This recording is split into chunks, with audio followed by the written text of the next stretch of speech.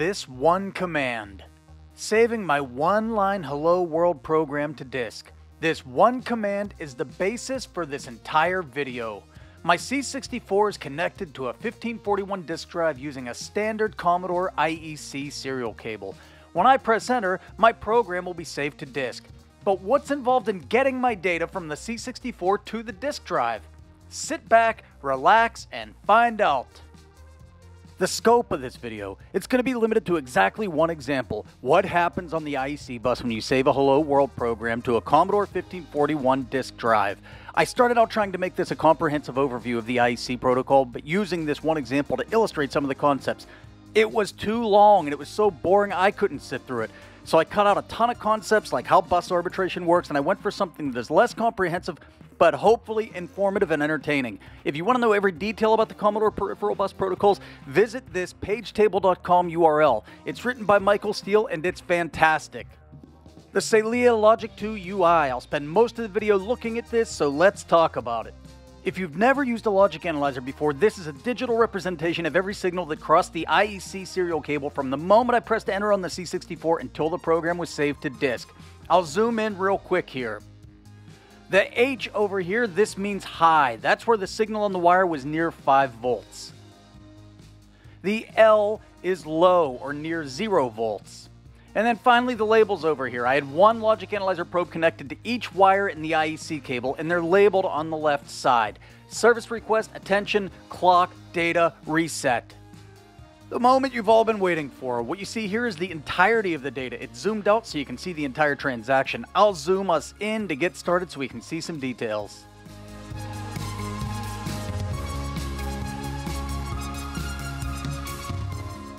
Some quick words about the IEC lines. SRQ isn't used on a stock C64 and 1541. Attention and clock are generally controlled by the C64 and read by the 1541.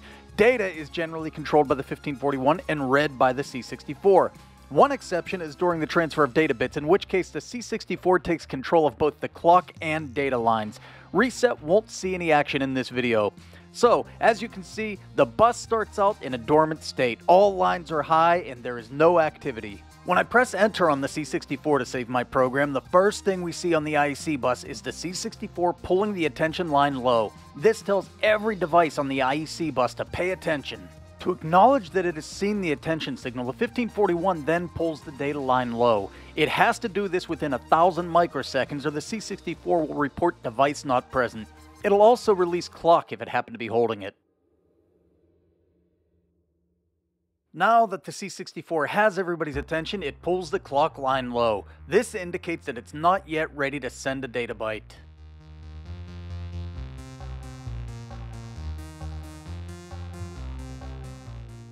The C64 pulls the clock line high now to indicate that it's ready to send a byte.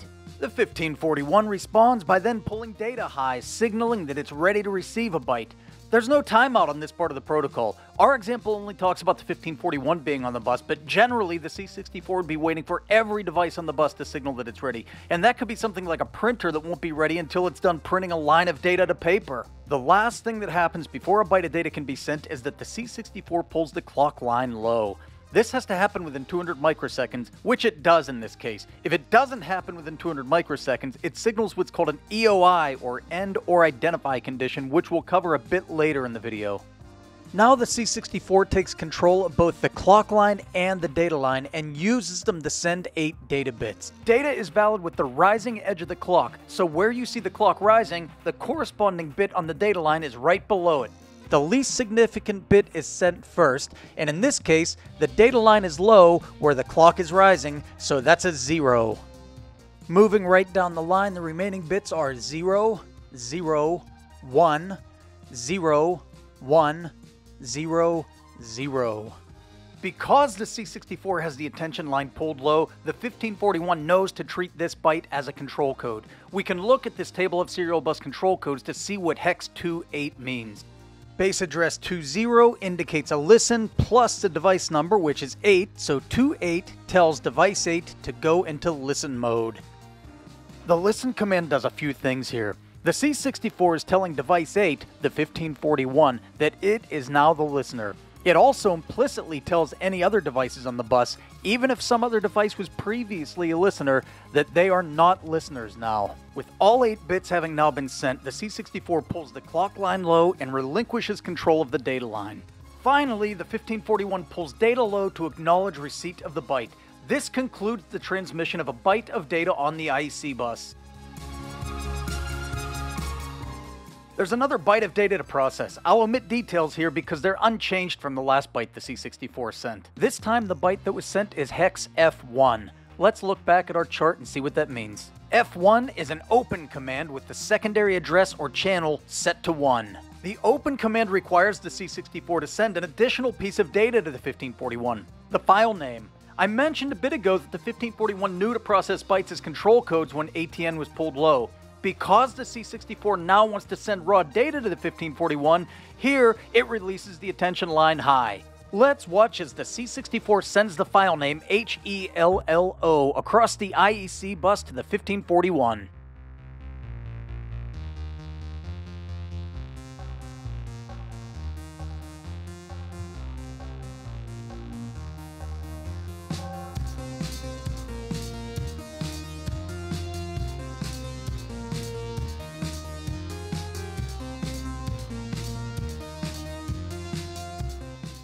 Earlier I said that when we came across an example of an EOI event, I'd explain that. An EOI took place just before the C64 sent the final O from hello, so I have to scroll back a bit to show you how it works. The sequence starts like a normal byte transmission. The C64 releases clock high to indicate that it's ready to send a byte. The 1541 acknowledges that by releasing the data line high, indicating that it's ready to receive a byte. Here's where the EOI happens. If the C64 doesn't respond by pulling clock low within 200 microseconds, the 1541 recognizes that this is an EOI signal from the C64, meaning the next byte will be the last one transmitted. So after 200 microseconds, in this case a bit over 600 microseconds, the 1541 acknowledges the EOI event by pulling data low for at least 60 microseconds. After this, bit transmission proceeds normally. The C64 prepares to send another command byte by pulling the attention line low. That command byte is 3F.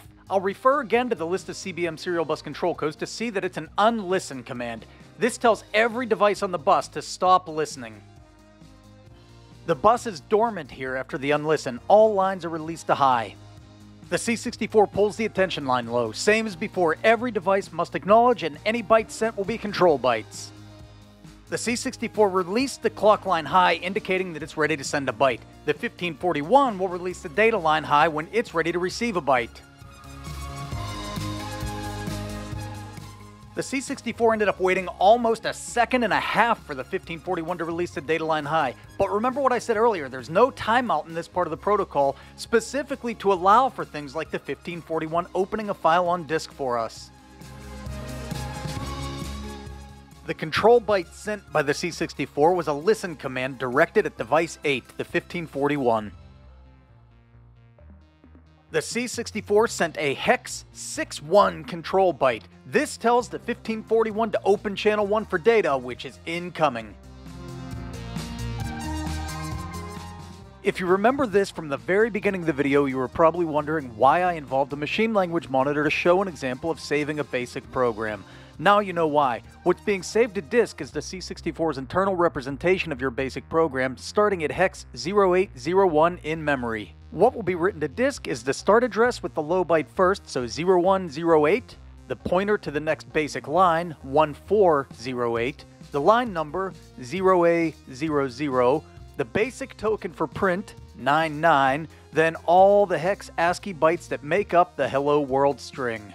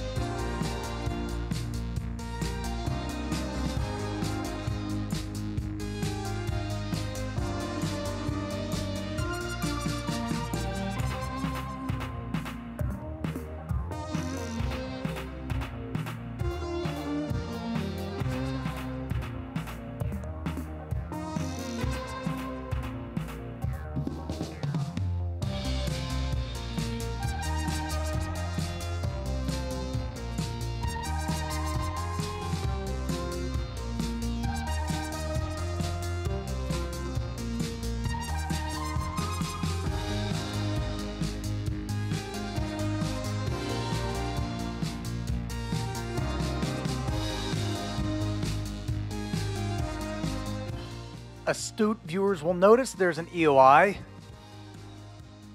And the last byte has been sent.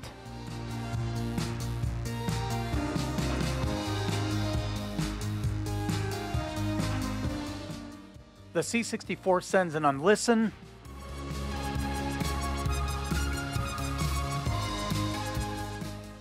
Then follows up by asking device 8 to listen again.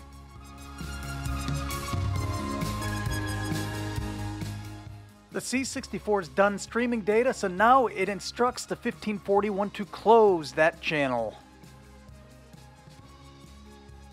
I have to do a good bit of zooming and adjusting here because it takes 1.78 seconds for the 1541 to commit that data to disk.